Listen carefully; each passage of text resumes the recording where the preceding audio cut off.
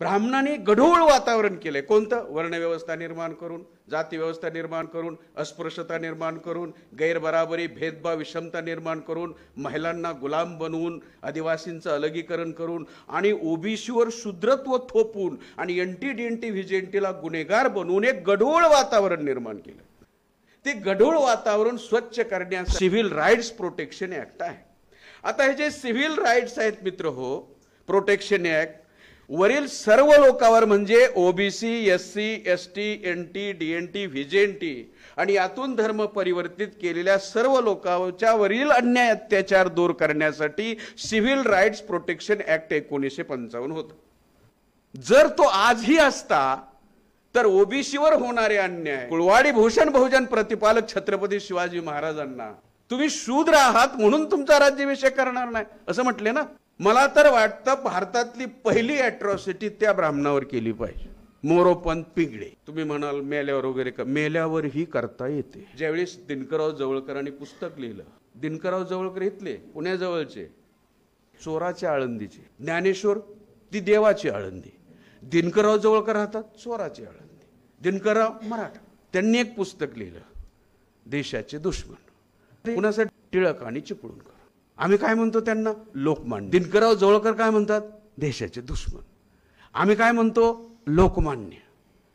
दिनकरराव जवळकर काय म्हणतात? देशाचे दुश्मन. एकोणीसशे पंचवीसला पुस्तक लिहिलं. तुम्हीही वाचा. पहिल्या शब्दापासून शिवी आहे ती शेवटच्या शब्दापर्यंत शिवी आहे. शिव्याचं पुस्तक आहे. वाचून बघू शकता तुम्ही. फक्त शिवेश्वर वागडे आणि यांच्यावर केस झाले. दिडकराव जोळकराव त्यांना तुरुंगात टाकलं.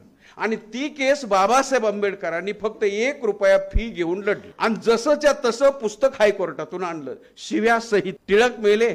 एक ऑगस्ट एकोणीसशे वीसला राष्ट्रपिता ज्योतिराव फुले बी गेले. अठ्ठावीस नोव्हेंबर अठराशे नव्वदला. हे सगळी मंडळी गेली बाबासाहेब गेले.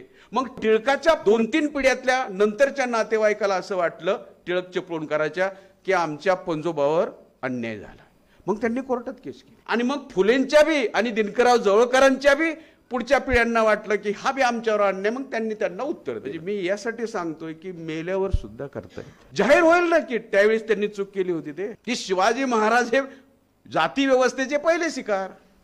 राष्ट्रपिता ज्योतिराव फुलेंना सखाराम यशवंत परांजपेच्या ब्राह्मणाच्या वरातीतून पुण्यातून हाकललं केवळ शूद्र होते म्हणून जात हलके म्हणून एव्ही पेरिया रामास्वामी काशी ब्राह्मणाच्या पंक्तीला बसले म्हणून त्यांना इथं धरून बाहेर काढलं. आमच्या पंक्तीला का बसला म्हणून? ही जी सिव्हिल राईट्स प्रोटेक्शन ऍक्ट या सर्वांसाठी होतं. ज्यांना ज्यांना भारतीय संविधानात प्रावधान दिलेलं आहे त्या सर्वांसाठी सिव्हिल राईट प्रोटेक्शन ऍक्ट होतं. की ज्यांना ज्यांना संविधानात प्रावधान दिलेलं आहे तीनशे चाळीसनुसार एक्केचाळीसनुसार बेचाळीसनुसार सेहेचाळीसनुसार हिंदू कोड बिलानुसार त्या सर्वांसाठी जर हा कायदा होता सिव्हिल राईट्स प्रोटेक्शन ॲक्ट एकोणीसशे पंचावन्न तर राजीव गांधीनं एकोणीसशे एकोणनव्वदला अकरा सप्टेंबर एकोणीसशे एकोणनव्वदला हा दुसरा कायदा काढला. S C S T atrocity prevention act हा कायदा काढला. राजीव गांधीनं त्यांच्या जीवनात बरीच महान कामं केलीत. त्यात हे एक महान त्यातलं पहिलं महान काम केलं की शहाबानो व्हर्सेस भारत सरकार. या केसमध्ये शहाबानोच्या विरोधात सुप्रीम कोर्टानं निकाल दिला. ही उत्तर प्रदेशाची महिला. त्यावेळी राजीव गांधीचं सरकार होतं आणि राजीव गांधीच्या सरकारमध्ये चारशे तेरा खासदार होते. सर्वात जास्त खासदार निवडून आणणारा प्रधानमंत्री. कारण एकतीस ऑक्टोबर एकोणीसशे चौऱ्याऐंशीला इंदिरा गांधीची हत्या झाली. सतवंत सिंगाने बेन सिंगानं केली. कारण इंदिरा गांधीनं गुरुद्वारामध्ये सुवर्ण मंदिरामध्ये मिलिटरी घुसवली होती म्हणून शिखांच्या धार्मिक भावना दुखावल्या आणि मग त्यातल्या दोन शिखा सतवंत सिंग आणि बेन सिंगानी इंदिरा गांधीची सोळा गोळ्यानं ओटी भरली. मेल्यानंतर आपली महान लोक लेकरू अनाथ झालं. राजीव गांधी अनाथ झालं. आई मिली त्याची चूल पेटत नाही म्हणून त्याला मतं दिली. इतकी मतं दिली इतकी मतं दिली की चारशे तेरा खासदार निवडून सुप्रीम कोर्टानं कोणताही निकाल दिला तर त्याचं कायद्यात रूपांतर होतं.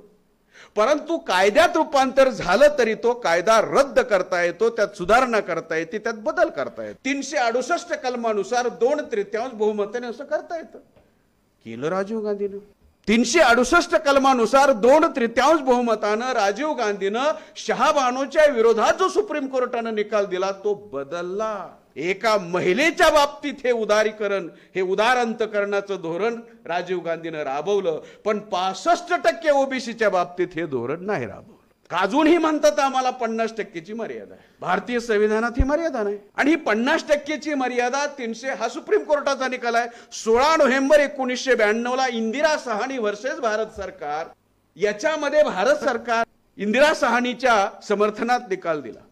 कारण त्यावेळेस लालू प्रसाद यादव कारण सात ऑगस्ट एकोणीसशे नव्वद ला व्हीपी सिंगानं मंडल डिक्लेअर केला. आणि दुसऱ्या दिवशी ब्राह्मणांनी एकतीस वकिलांनी केस केली. एकतीसच्या एकतीस ब्राह्मण. कशाच्या विरोधात? मंडलच्या विरोधात. मंडल कोणासाठी? ओबीसीसाठी. म्हणजे ब्राह्मण वकील कोणाच्या विरोधात? ओबीसीच्या विरोधात. आणि पालन पोषण कोण करतं ब्राह्मणाचं? आणि लालू प्रसाद रस्त्यावर फिरत होते. अरे कोणीतरी या. मी एक लाख रुपये फी देतो. नुसतं कोर्टात उभा राहा सुप्रीम कोर्टात. पाच लाख द्यायला तयार झाले. नाही. शेवटी ती केस त्यांनी राम जेठमलानीकडे दिली. राम जेठमलानी सिव्हिलचा एक्सपर्ट नाही क्राईमचा एक्सपर्ट आहे. हरला. जाणीवपूर्वक हरला का कसं माहीत नाही कारण शेवटी बीजेपीत गेलता. हरला आणि हरल्यानंतर सुप्रीम कोर्टानं सातशे पानाचं निकाल पत्र तयार केलं त्यात प्रमुख चार निकाल दिले. नंबर एक बावन्न टक्के ओबीसीला बावन्न टक्के आरक्षण देता येणार नाही सत्तावीस दिलं जाईल कारण पन्नास टक्केची मर्यादा. हा एक निकाल असे चार निकाल दिले.